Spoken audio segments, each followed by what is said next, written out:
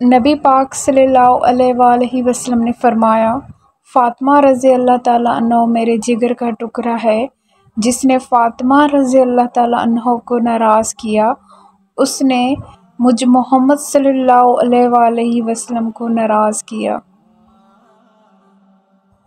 नबी पाक सल्लल्लाहु अलैहि वसल्लम ने फ़रमाया, माँ का हक़ अदा करते रहो। कसम है अल्लाह की, अगर तुम अपना गोश्त काट कर उसे दे डालो, जब भी उसका चौथा हक अदा न होगा। अलैहि वसल्लम ने इरशाद फरमाया, अल्लाह ताला के लिए बाज़ लोग ऐसे हैं जैसे कि किसी के घर के ख़ास लोग होते हैं। साहबा ने अर्ज़ किया, वो कौन लोग हैं?